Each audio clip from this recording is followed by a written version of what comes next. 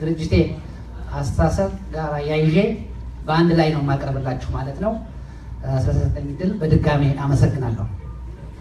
የተከበራችሁ የሲያትል ከተማ ነዋሪዎች፣ አማራ ነዋሪዎች፣ ጥሪ የተደረገላችሁ እንግዶችና የዚህ መድረክ አዘጋጆች ኢትዮጵያ የሶስት ሺህ ዓመታት የተመዘገበ መንግስታዊ አስተዳደር ያላት ሀገር ናት። የአማራ ሕዝብ የትግል ታሪክና አደረጃጀት ታሪካዊ ይዘቱ ሲነሳ ከዚች ሀገር የትግል ታሪክ ጋር በእጅጉ የተሳሰረ ነው ወይም ነበር። ከሺህ ዓመታቶች በፊት በየጊዜው የተነሱ የአማራ የፖለቲካ ኃይሎች ከሌሎች ኢትዮጵያውያን ጋር በመተባበር ፖለቲካውን በመዘወር ኢትዮጵያ የምትባል ጠንካራ ሀገር ፈጥረው መኖር ችለው ነበር። የአማራ ልሂቃን በተለያየ ወቅት የስልጣን መዘውሩን የጨበጡ ሲሆን በባህሪያቸው ሌሎችን አግላይ አልነበሩ። ተጠቃሎ ሲመዘን ራሳቸውና የወጡበትን ህዝብ ማንነት ሙሉ በሙሉ ወደ ኢትዮጵያዊ ማንነት ለውጠው ኖረዋል። አማራው በሀገር ወዳድነት ሁሉንም ማህበረሰብ በአንዲት ኢትዮጵያ ጥላ ስር ማስፈር መቻሉና ይህችንም ሀገር ከውጭ ወራሪ ከውስጥ ቦርቧሪ ጠብቆ ማቆየቱ ታላቅ ስኬት ስኬት መስሎ ቢታይም ለዛሬ መከራውና ስቃዩ እንደ ዋና ምክንያት ሆኖበታል። የሀገር ገንቢነት ስኬት ከውስጥና ከውጭ ብዙ ጠላቶቹን አፍርቶበታል አፍርቶለታል። ዘውዳዊ ስርዓት ተደምስሶ በወታደራዊ ስርዓት ከተተካ በኋላ አማራው በተለያዩ ወገኖች ኢላማ ውስጥ ወድቋል። አማራውን በጠላትነት የፈረጁ ነፃ አውጪ ነን ባይ ግንባሮች የተቋቋሙት እና ወደ ስራ የገቡበት ወቅት ሲሆን ወያኔ ትግሬ ስልጣኑን ከተቆጣጠረ በኋላ በይፋ የዘር ማጥፋት ተፈጽሞበታል። የዛሬቱ የወያኔ ኢትዮጵያ አማራን በዓለም አቀፍ ደረጃ የድሃ ድሃ ህዝብ ያደረገች መላ አማራን ከወሳኝ የመንግስት ስልጣንና ኢኮኖሚያዊ እንቅስቃሴ ያገለለች አማራ በሌሎች ዘንድ እንዲጠላ ዘወትር የሚሰበክባትና የአማራ ህዝብ ቁጥር እድገት በአስደንጋጭ ሁኔታ የቀነሰች ሀገር ሆናለች። አማራው በሚንቀሳቀስበት የሀገሪቱ ክፍሎች ሁሉ እንደ ሁለተኛና ሶስተኛ ዜጋ ሆኖ አሊያም በአማራነቱ አንገቱን ደፍቶ ይገኛል። አማራው ከዚህ አይነት መከራ ከመዘፈቁ በፊት የዘውዳዊ አገዛዝ መውደቁን ተከትሎ ብዙ የፖለቲካ ኃይሎች ወይም ድርጅቶች ተፈጥረው ሁሉም የተለያየ ታሪካዊ አሻራ ጥለው አልፈዋል። ደርግ፣ ኢህአፓ፣ ኢህዴን፣ መኢሶን፣ ኢዲዩ፣ ቅንጅት፣ አንድነት ከነዚህ የፖለቲካ ድርጅቶች ውስጥ እንደ ማሳያ ተጠቃሾች ናቸው። በሁሉም ድርጅቶች ውስጥ የአማራው ተሳትፎ ከፍተኛ ቢሆንም ለአማራ ህዝብ ያበረከቱት ፋይዳ የለም ብሎ መናገር ማጋነን ሊሆን አይችልም። በእነዚህ ህብረ ብሔራዊ የፖለቲካ ድርጅቶች እንቅስቃሴ አማራው ከፍተኛ ጉዳት ደርሶበታል። ምርጥ ምርጥ ልጆቹን፣ ባህሉን፣ የአስተሳሰብ ዘይቤውን ብሎም ስነልቦናውን በከፍተኛ ሁኔታ ጉዳት ላይ ጥለውታል ወይም አውድመውታል። የእነዚህ ሁሉ ድርጅቶች ድምር ውጤት በአማራው ኪሳራ ተወራርዷል። አማራው አብረውት ከተሰለፉት ኃይሎች እንኳ ሳይቀር ከጀርባው ሲወጋ ቆይቷል። ህይወቱን የሰዋላቸው ድርጅቶች እንኳ በደንብ በተጠና ሴራ ለራሱ ለአማራው ውድቀት ማፋጠኛ ሆነዋል። በደርግና ኢህአፓ አማካኝነት በአማራው ላይ የተፈጸመውን ታላቅ እልቂት እንኳ ትተን የቅርቡን በቅንጅትና አንድነት እንዲሁም ሰማያዊ በሚባሉ በአንድነት የፖለቲካ ድርጅቶች ሰበብ የደረሰውን ስንመለከት እንቅልፍ ነሺ ልብ አድሚ ሆኖ እናገኘዋለን። ሲጠቃለል በሀገር አንድነት ፖለቲካ ሰበብ ኢትዮጵያ የአማራ ልጆች መታረጃ ቄራ ሆናለች።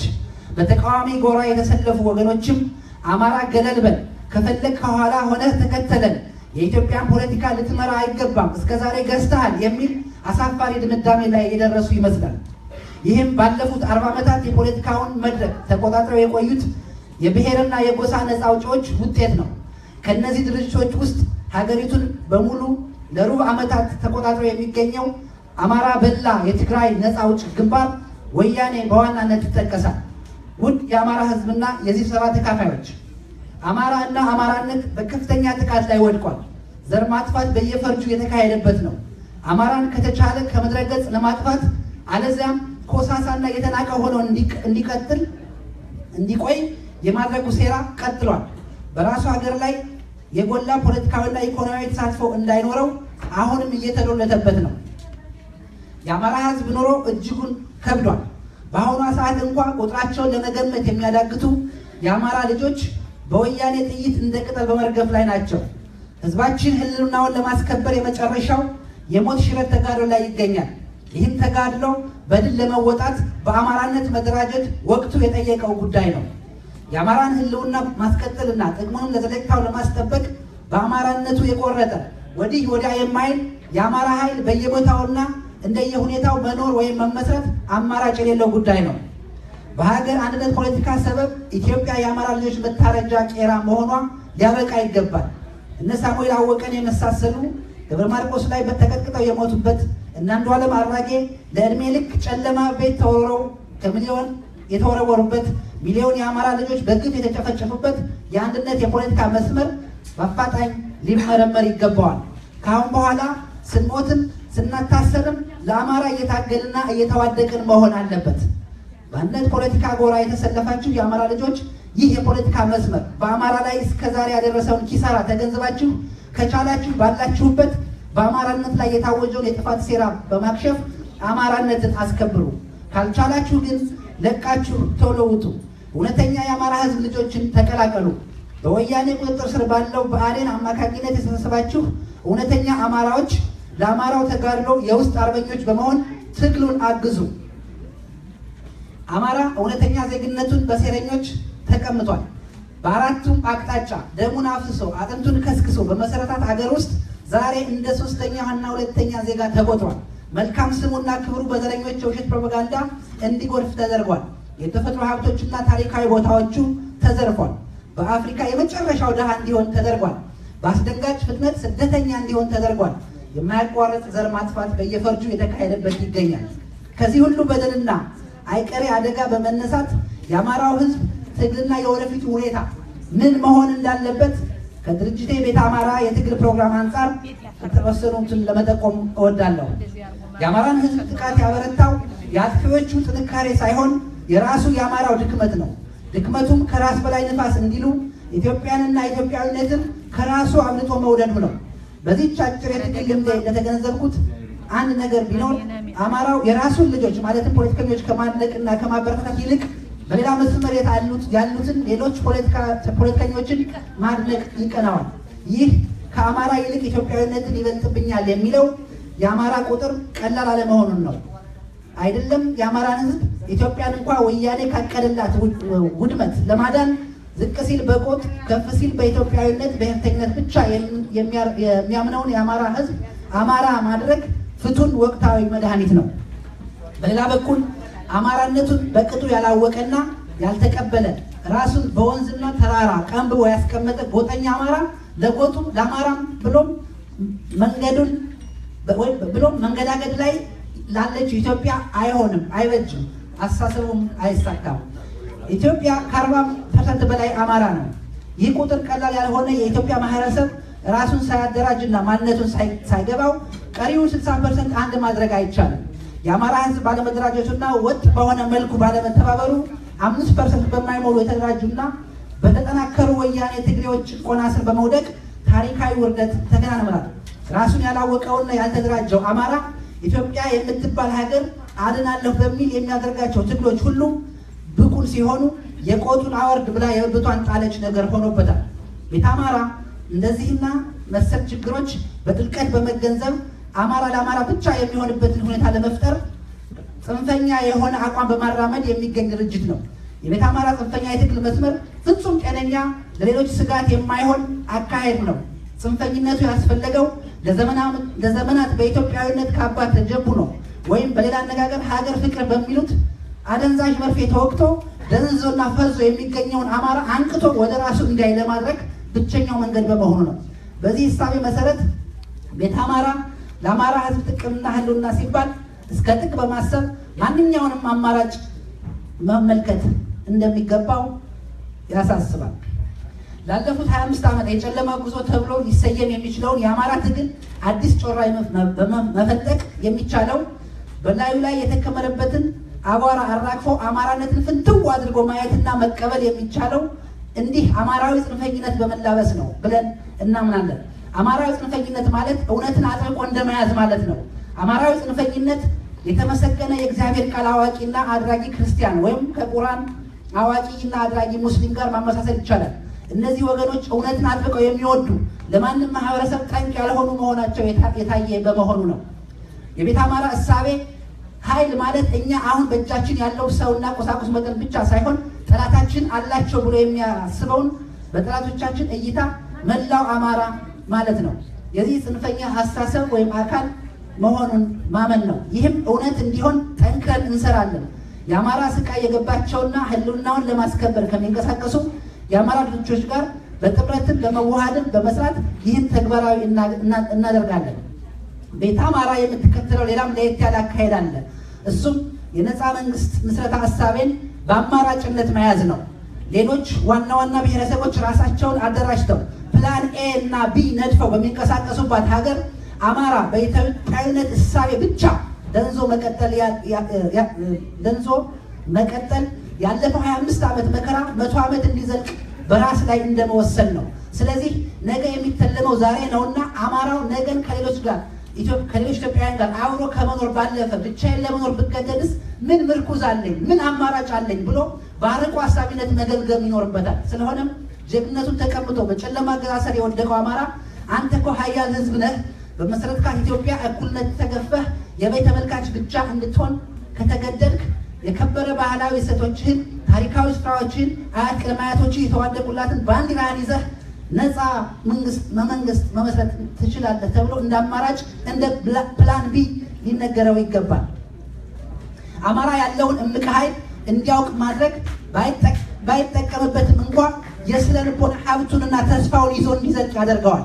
የዛሬዋ ኢትዮጵያ ተስፋ አስቆራጭ ብትሆንም ከተጋድሎ ማግስት የምትመሰረተዋ ኢትዮጵያ ሁሉንም በእኩልነት የምታሳትፍ ከሆነች የአማራ ህዝብ እንደ ጥንቱ እንደ ጥንቷ ማለትም ከወያኔ በፊት እንደነበረችዋ ኢትዮጵያ ያደርግ እንደነበረው ወይም ከዛ በተሻለ መልኩ ለራሱና ለሌሎች ኢትዮጵያውያን መከታ ጋሻ ሆኖ የሚቀጥልበት ሁኔታ ከተመቻቸ ቤተ አማርያ ቅድሚያ የምትሰጠው ጉዳይ ነው። ይህ ባይሆን ግን ያልተዘጋጁ ተፈጁ የሚለው አነጋገር በህዝባችን ላይ ተፈጻሚ እንዳይሆን ጠንክረን እንሰራለን። ከአሁን በኋላ አማራ ያለ አማራጭ አንዲት ቀንም እንኳ እንዲራመድ መፍቀድ የለብንም።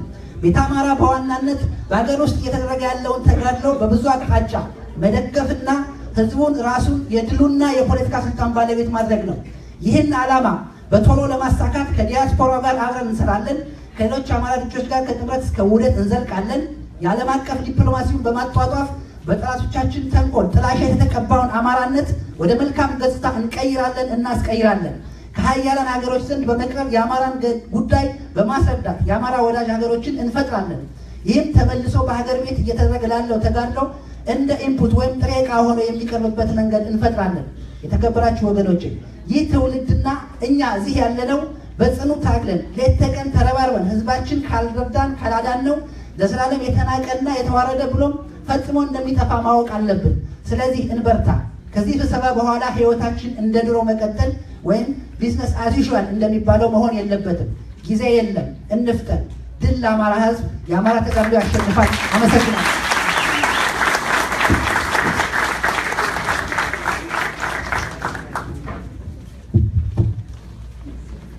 አቶ ካሳው ተፈራ የቤተ አማራ ሊቀመንበርን ከልብ እናመሰግናለን። በነገራችን ላይ እዚህ ላይ የሚያቀርቧቸው የራሳቸው የድርጅት ፕሮግራሞች መሆናቸውን ከግምት ውስጥ ማስገባት አለብን። ሁሉም አካላት ማለት ነው። የእኛ ሚና መድረክ ፈጥሮ ሁላቸውንም አንድ ላይ ማገናኘት መሆኑን እንድትይዙልን ነው። ከዚህ በመቀጠል የምናልፈው ወደ ዶክተር አክሎግ ነው። I think ዶክተር አክሎግ እየታዩ ነው፣ ተዘጋጅተዋል። ዶክተር አክሎግ ከአስር ከአስር እስከ አስራ አምስት ደቂቃ ሰጥተናል። አዎ ይታያል። ዶክተር እንግዲህ መቀጠል ይችላሉ። የአማራ ህዝብ መደራጀት አስፈላጊነት ላይ ነው የሚናገሩት ማለት ነው። መድረኩን እለቃለሁ። አመሰግናለሁ። መጀመሪያ በዚህ በሰንጠሩ ይሰማል ይሰማል። አዎ ይሰማል።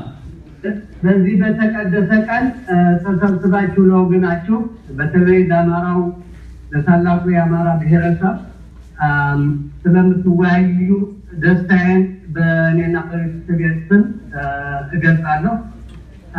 የሚቻል ከሆነ በህሊና ጸሎት ብንጀምር እመርጣለሁኝና ራሴ እነሳለሁኝ። የህሊና ጸሎት ብናደርግ ደስ ይለኛል። አመሰግናለሁ።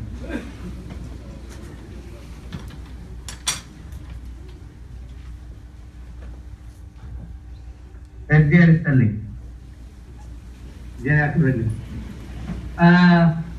ዛሬ ለወገኖቼ ለማቅረብ የምፈልገው መጀመሪያ ወጣቱ እንደዚህ ተሰብስቦ ለአማራው ብሔርና ለታላቋ ኢትዮጵያ ውይይት የሚያደርግ መሆኑ ለሁላችንም የሚያኮራ ስለሆነ የምኮራባቸው መሆኑን የተደሰቱ መሆኔን እገልጽላቸዋለሁ።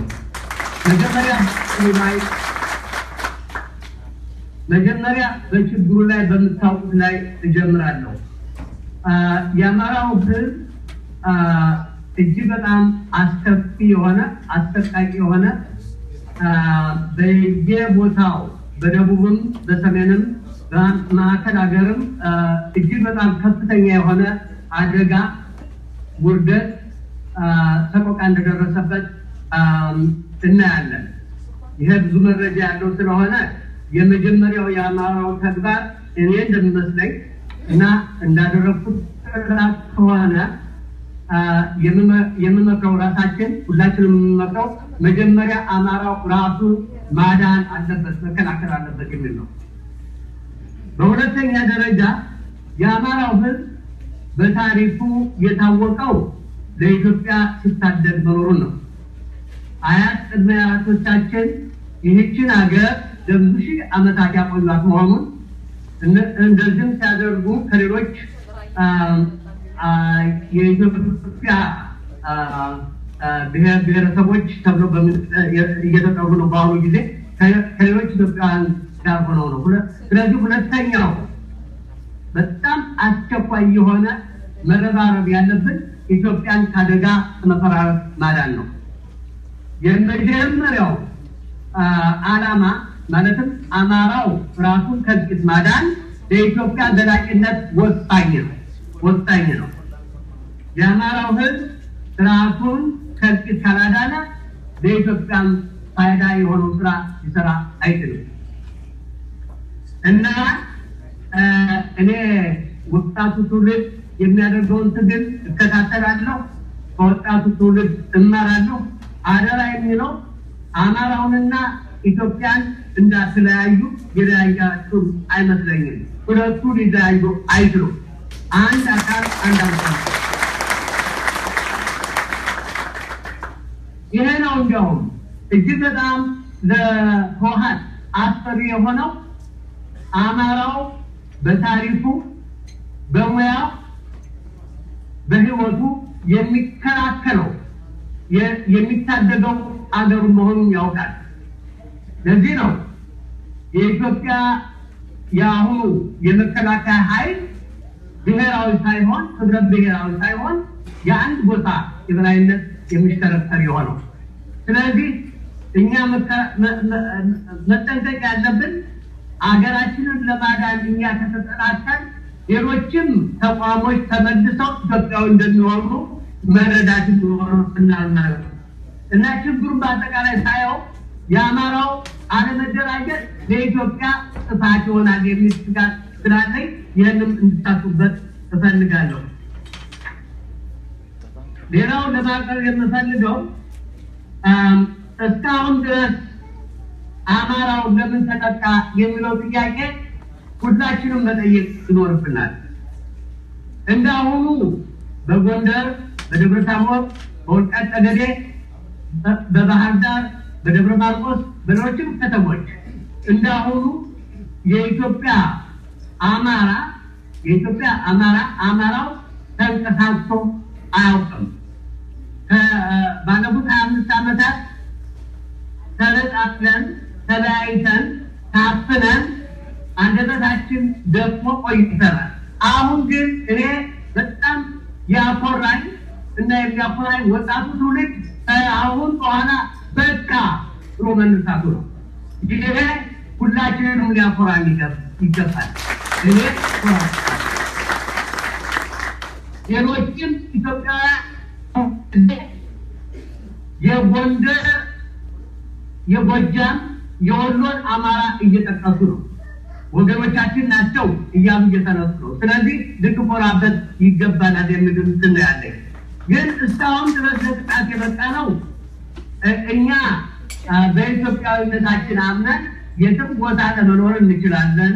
የትም ቦታ ተከብረን ሀብት ለመያዝ እንችላለን በሚል እምነት ነበር። ይህንን አሁንም ቢሆን የሚክደን ሰው የሚክደን ኃይል የለም። ይህን አይነት እንድንቀማ መፍቀድ የለብንም። ያነ የኢትዮጵያዊ መብታችን ነው። ቅድመ አያቶቻችን የሰጡን ጥሪት ስለሆነ ልንተው አንችልም። ግን ምንድን ነው የተጠቃ ነው ባለመተባበራችን እና አማራውን በአንድ ላይ ባለመቻላችን ነው። ይህንን ደግሞ መቀበል ይኖርብናል። የተደራጀ ማንም አገር ቢሆን በማንም ቦታ ቢሆን ያልተደራጀ ያልተማመነ ያልተሳሰረ ያልታሰበ ህዝብ ይፈጃል። ይህም በሌሎች ቦታዎች አይተነዋል። በአርሜኒያ አይተነዋል። ቱርኮች ያደረጉትን በሌሎች ቦታዎች አይተነዋል። በአይሁዶች ላይ የሆነውን አይተነዋል። በቡሩንዲ በሩዋንዳ የሆነውን አይተነዋል። በእኛ ላይ እንዲደገም መፍቀድ የለብንም። እኛ መፍቀድ የሌለብን አንድም አማራ የትም ቦታ ብሎ መገደል የለበትም ብለን መጮህ ይኖርብናል። መተሳሰብ እንግዲህ አማራው በኢትዮጵያዊነቱ የማይጠራጠር ከሆነ የማይበገር ከሆነ ታሜነታነት ካለው ግን ያንን ለማጠናከር በአማራነቱ መደራጀት ይኖርበታል። ግዴታው ነው ግዴታው ነው። ምክንያቱም በአንድ በቅርብ ጊዜ በተጻፈ መጽሐፍ ላይ ሙሉቀን ተስፋ በጻፈው መጽሐፍ ላይ እንዳየሁት መረጃውን ሳይ ወረጅ ወገንም ያቀረበውን መረጃ ሳይ ሌሎችም ያቀረቡትን መረጃ በማይበት ጊዜ እንዴት ለዚህ ደረስ የሚል ጥያቄ በአይምሮዬ ይተሰረጻል። ለዚህ የደረስበት እርግጥ ነው አፋኝ የሆነው በጣም በሚደነዝዝ ደረጃ ህወሓት አማራው ዋነኛ ጠላቴ ነው ብሎ መነሳቱ ነው ያስጠቃል። ነገር ግን ህወሓት ብቻ መነሳቱ አይደለም፣ ሌሎችም ይህንን ተባባሪ የሆኑ ኃይሎችም አጥተውታል። በደቡብ የተካሄደው ውጤት በዚያ ነው። ሆኖም እኛ ከተባበር እኛ አንድ ከሆን አንድ ድምፅ ካለን ኃይላችን ካጠናከን በምንም አይነት አንጠቀም። ይህን እኔ ሙሉ በሙሉ አምናለሁ።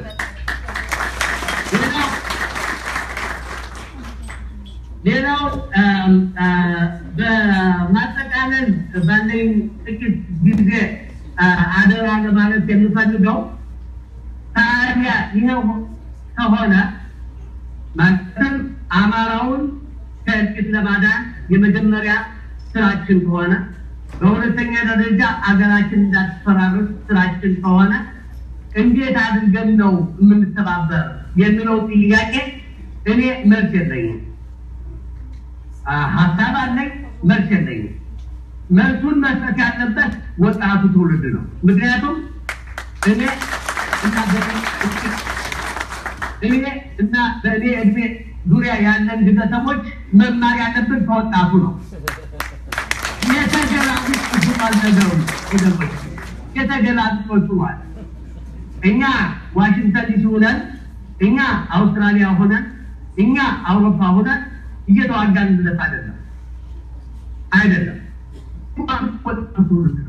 የሚሞተው፣ ወጣቱ ትውልድ ነው የሚሰደደው፣ ወጣቱ ትውልድ ነው። ስለዚህ ከወጣቱ መማር ግዴታችን፣ እኛ ደግሞ መልሰን ወጣቱን ትውልድ መምከር ይኖርብናል።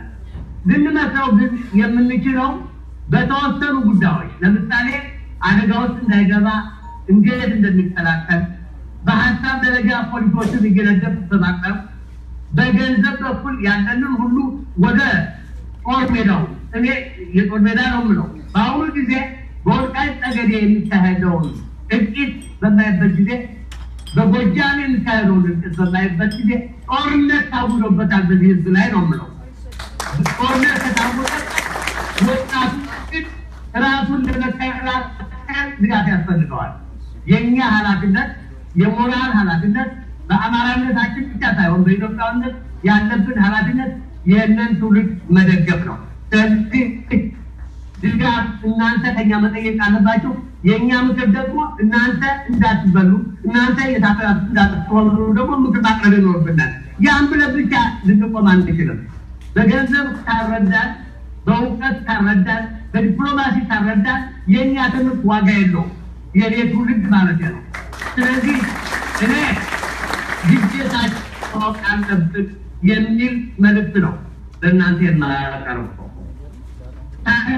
እንዴት በምን ደረጃ በምን ትኩረቶች ላይ ግዴታችን እንወጣ የሚለውን ጥያቄ ለማቅረብ ፈልጋለሁ። እኔ ግዴታውን መወጣት ያለበት ወጣት ትውልድ ነው ብያለሁ። እኔ አይደለሁም፣ የኔ ዕድሜ አይፈቅድም። እኔ አይደለሁም የምዋጋው፣ እኔ አይደለሁም የምታገለው። ወጣቱ ትውልድ ነው የሚታገለው። የፖለቲካ ፓርቲዎች ማወቅ ያለባቸው ውጭ ያሉ የፖለቲካ ፓርቲዎች በዚህ ሰሞን ባቀረብኩትን ሀተት አይታችሁታል። እኛ መከተል ያለብን ህዝቡን ነው። ትግሉ የሚካሄደው ኢትዮጵያ ውስጥ ነው። የሚሞተው ወጣቱ ትውልድ ነው። የሚሞተው የኦሮሞ ወጣት፣ የአማራ ወጣት፣ የኮንሶ ወጣት ነው። ወጣቱ ትውልድ የሚሞት ከሆነ ወጣቱን ትውልድ መደገፍ አለብን የሚል አስተሳሰብ ነው ያለኝ እና እዚህ ደረጃ ለወገኖች የማቀርባቸው አንዳንድ ሀሳቦች አሉ። መጀመሪያ መጀመሪያ እና ዋናው መልእክቴ አማራውን ማዕከል እናድርጎ ነው። ክብ ነገር ናቅርብ። ክብ ነገር ስታዩ በመሀሉ መሆን ያለበት አማራው ነው። መሀላችን አማራው መሆን አለበት። ምክንያቱም እልቂት የተካሄደበት በጎሳ ደረጃ በብሔር ደረጃ አማራው ነው።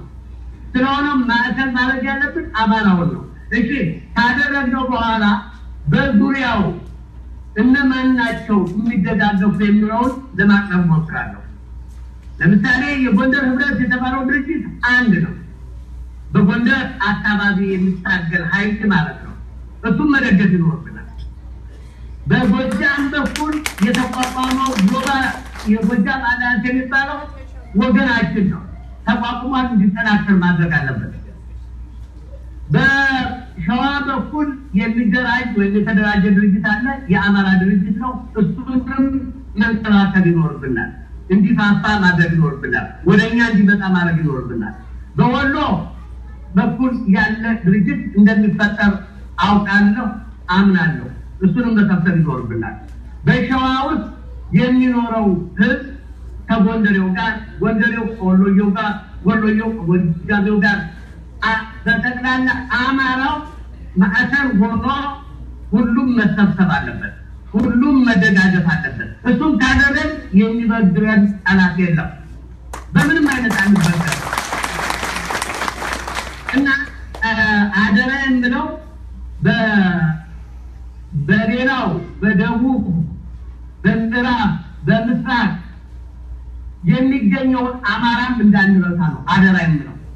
ከአስራ አንድ ሚሊዮን በላይ የሚሆነው አማራ የሚገኘው በደቡብ በኦሮሚያ፣ በደቡብ ክልል፣ በቤኒሻንጉል፣ በጋምቤላ፣ በሌላውም ቦታ የሚገኘው አማራ አካላችን ነው፣ ወገናችን ነው። እነሱንም መርሳት የለብንም። እነሱም የማዕከሉ የማዕከሉ እንክብካቤ እንዲደረግላቸው ያስፈልጋል። ስለዚህ ትኩረት የምናደርግባቸው ነገሮች ምንድን ናቸው የሚለውን በአጭሩም ቢሆን ላቅርብላችሁና ይህንን ሀተፋይነን እደመድማለሁ። እኔ እንደመስለኝ እኛ በአሁኑ ጊዜ በየቦታው መሰብሰባችን የሚያስደስት ነገር ሆኖ ነገር ግን እነዚህ ስብስቦች በአንድ ማዕከል ላይ ሊመጡ አልቻሉም። የእናንተ ተግዳሮት እኔ እንድትመካከሉበት በአደራ በአካል ባልቤ በአደራ የምጠይቀው ምንድን ነው? እነዚህን እንዴት አድርገን ማዕከል ልፍጠርላቸው የሚለው ነው። ለምንድን ነው ይህን የምለው? ለምሳሌ በቅርቡ ባለፈው ሳምንት በተካሄደው የፖለቲካ ውይይት የአማራውን ታላቀውን የአማራውን ብሔረሰብ የሚወክል የፖለቲካ ስብስብ አልነበረም። አማራውን የሚወክል ማለት ነው። አማራው በአንድ ግለሰብ ወይም ደግሞ በፖለቲካ በሌሎች ፖለቲካ ፓርቲዎች ሊወከል አይገባውም። መወከል ያለበት በአማራው ይህን ለማድረግ ምን ይሳነናል? ምን ይሳነናል? ሰው የሰው ኃይል አለን፣ ገንዘብ አለን፣ እውቀት አለን፣ የዲፕሎማሲ ችሎታ አለን። ሁሉ ነገር በእጃችን ነው። እኔ ጉለት የማየው ምንድነው አለመግባባቱ ላይ ነው። ለምንድን ነው የማንግባባው? ለምንድን ነው የማንተማመነው? እኔ ጎጃም ወንድሜ ነው፣ ጎጃም ወንድሜ ነው። እኔ ወንድሜ ነው። እኔ ኦሮሚያ የሚኖር አማራ ወንድሜ ነው፣ ኦሮሞ ወንድሜ ነው።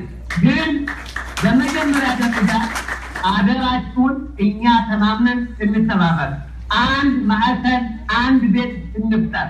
ይሄ ነው ዋናው ዋናው ስራችን። በሌላ ደረጃ ደግሞ ዝም ብሎ መሰብሰብን በቂ አይደለም። የገንዘብ አቅም ያስፈልገናል። ገንዘብ ድሃ የሆነ ድርጅት በምንም እንቅስቃሴ ለማካሄድ አይችልም።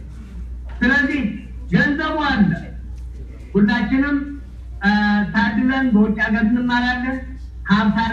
ቤት አለን፣ ልጆች አሉን፣ የምናውቃቸው ግለሰቦች አሉ። ገንዘብ በጣም አስፈላጊ ስለሆነ ርብርብ ማድረግ ይኖርብናል። እያንዳንዳችን በቀን አንድ ዶላር ብናወጣ ያለው ጎንደሬ ተሰብስቦ ብዙ ሚሊዮን ዶላር በአመት ለማውጣት ይቻላል። እሱን ቻለንጅ ለእናንተ አቀርበዋለሁ። ሌላው መገናኛ ብዙኃን ያስፈልገናል። አንድ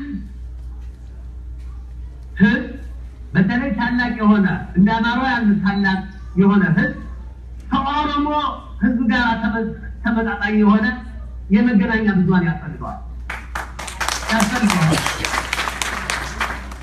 እኛ ለምንድን ነው ለማድረግ የማንችለው? ጅማሮ እንዳለ አውቃለሁ።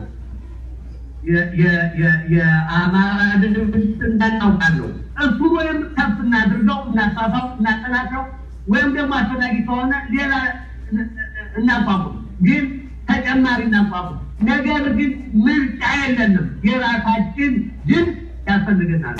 የራሳችን ሬዲዮ፣ የራሳችን ቴሌቪዥን ያስፈልገናል። ይህንን አምናለሁ። ሌላው በውጭ ሀገር ግንኙነት በኩል ከተባበር አንድ ቤት ተሰራ ቅድም ማዕከል ስል አንድ ቤት ማለት ነው። ያን ቤት ተሰራ የዲፕሎማት ስራ ለመስራት እንችላለን። እኛ የምንከበረው እኛ እኔ ብዙ ጊዜ በዲፕሎማሲ ስራ ላይ ሰርቻለሁ፣ ሞክሬያለሁ። የተቻለኝን አበጃለሁ፣ ወደ ድርጅት ማረጋለሁ። ነገር ግን ወገኖች ልንገራችሁ እኛ ጠንካራ ከሆን ብቻ ነው የዓለም ሕዝብ የሚያዳምጣል። ኢትዮጵያ ጠንካራ ሆና የሶስት ሺህ የአራት ሺህ የአምስት ሺህ ዓመት እድሜ አላት ተብሎ የሚነገረው በማን ነው? በራሳችን ችሎታ፣ በራሳችን እውቀት፣ በራሳችን ደፋርነት፣ በራሳችን አልበገርነት እኮ ነው። ስለዚህ ያነ እርሳችን አሁንም በወጣቱ ትውልድ እየታየ ነው። እኔ ትልቅ አክብሮት ያለኝ ወጣቶቹ የሚያደርጉት እጅግ በጣም የሚያስደስት እንቅስቃሴ ያንን ወደ ጥንክርና ልንለውጠው እንችላለን። ወገኖቼ በጠቅላላ ዛሬ ያደረጋችሁ ስብሰባ እጅግ በጣም የሚያኮራ ነው። ግፉበት። መፍትሄዎች ይዛችሁ የምጠየቀው ነገር ካለ እኔ ከእናንተ ጋር መሆኔን ቃሌን እሰጣችኋለሁ። እግዜር ያስፈልግ። አመሰግናለሁ።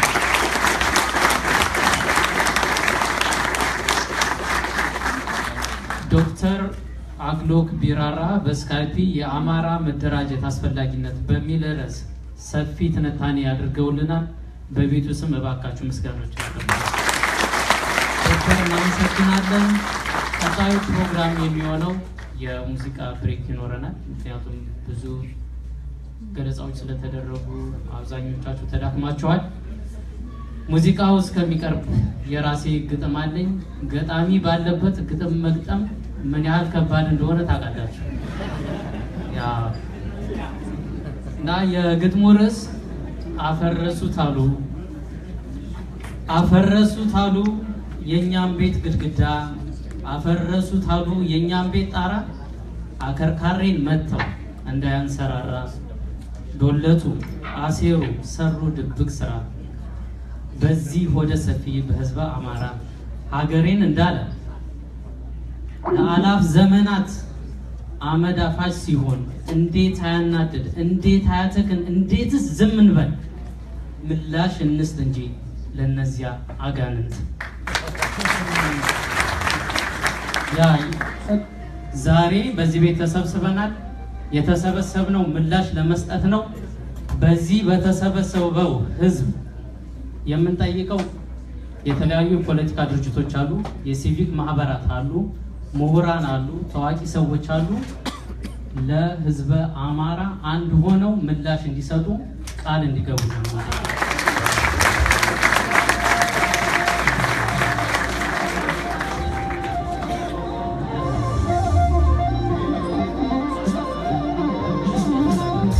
ማለት